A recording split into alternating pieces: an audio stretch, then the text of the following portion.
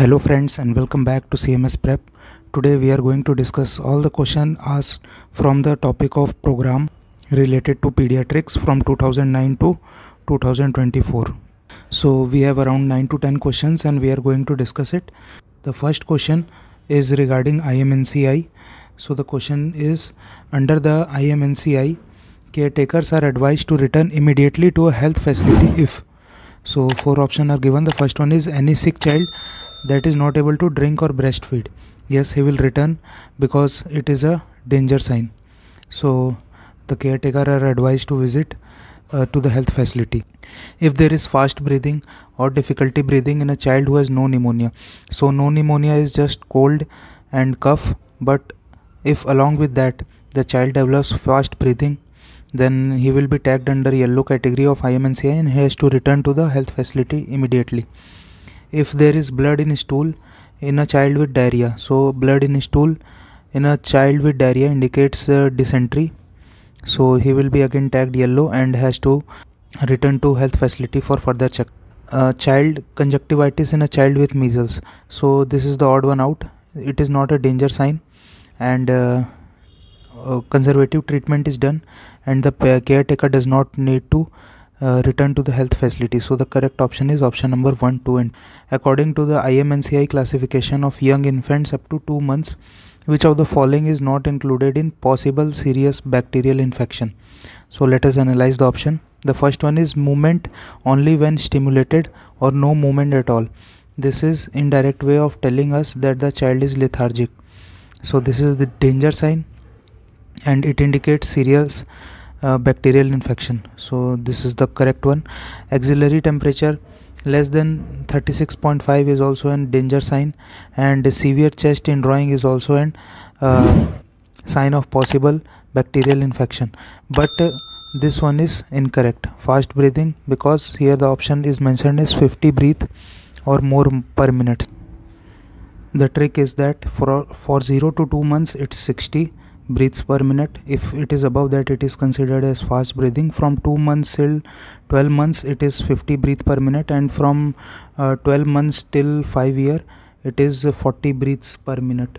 Okay so this is the uh, trick for remembering the fast breathing rate. So in uh, neonates or uh, in children below 2 months it is more than 60 per minute. So this option is incorrect axillary temperature less than 36.5 is a sign of a possible serious uh, possible bacterial infection because uh, it can be indicative of sepsis. Let's move on to the next question question number 3 which one of which one of the following is not a component of 4 ds that are under rbsk uh, in this 4 ds are covered. So the first one is defects uh, which includes neural tube defect और cleft lip cleft palate etcetera the second one is disease like rheumatic heart disease और congenital hypothyroidism the third one is deficiency like iron deficiency anaemia और vitamin A deficiency etc. And the last one is developmental delay which deals with uh, autism and other neurodevelopmental disorder. So in this disease is covered deficiency is covered developmental delay is covered but this one is odd one out. So deficit is uh, a generic term with no specific medical or programmatic meaning in this context. So this is the odd one out. Next question which of the following disease is covered under the rbsk program? So we have four options. The first one is rheumatic heart disease second one is community acquired pneumonia. Third one is systemic uh, onset juvenile idiopathic arthritis. Fourth one is nephrotic syndrome.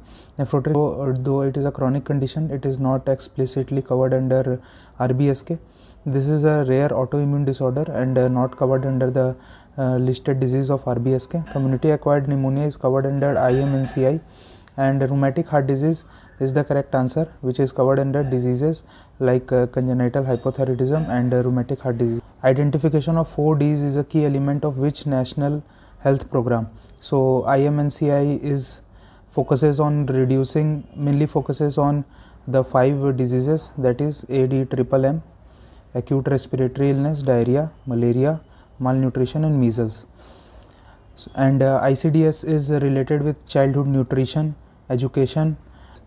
JSSK is related to free services to the pregnant women and sick newborns and not RBSK is the correct answer. so it uh, focuses on uh, disease deficiency developmental delay and uh, defects congenital defects. Which one which one of the following are uh, correct regarding the activities under the weekly iron folic acid supplementation program?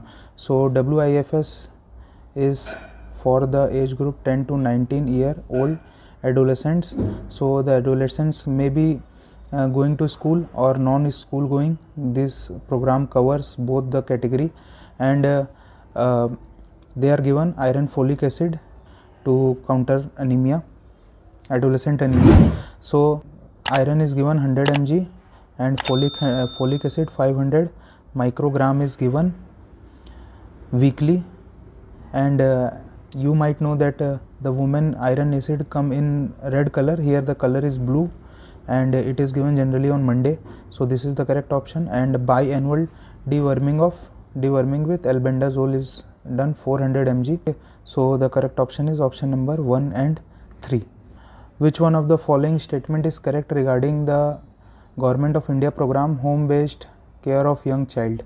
So h there are three things fbnc facility based newborn care hbnc uh, home based newborn care and hbyc home based care of young child. So people get tricked into these. So just keep it clear. Here it is being asked about hbyc so this program was started in 2014 this is incorrect. It was started in 2018 the grassroots worker is anganwadi worker. Incorrect. The grassroots worker is asha the grassroots worker makes 5 6 home visits. This is also incorrect.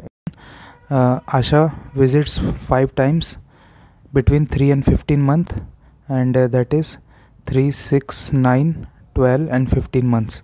So the asha worker visits at these months. So the correct option is option d.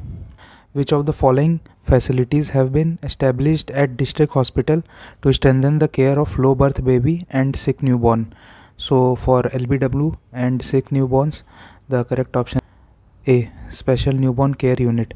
So special newborn care unit are established at uh, district hospital to provide advanced care for low birth weight and sick newborn. Uh, like conditions like sepsis and uh, prematurity can be treated here. And other three options are in care of the first one is nbcc full form is newborn care corner. The second one is newborn special uh, newborn stabilization unit and the third one is sncu special newborn care unit. So this is uh, usually established in the first referral center and this is established in the district hospital or sub district hospital. So other three terms are uh, not related to it and incorrect. Which of the following is correct schedule for home visit by asha worker for a facility born newborn baby. So the main confusion here is that if it is facility born and if it is a home born baby. So in facility born you just remember the trick for this and add uh, one day and you will get the answer. So the trick is 3 7 14 21 28 and 42 so on these days the asha worker will visit and assess the baby and if it is a home based delivery then within 24 hours of home delivery the asha will come and check the baby. And it is different from uh, home based care of young child. It is done between 3 to 15 months. So i hope you get the confusion. So this is all for this video. Now we will move on to the next topic. Stay connected and subscribe like share and if you want to attempt the quiz you can go to our uh, telegram channel and attempt the quiz for this. Thank you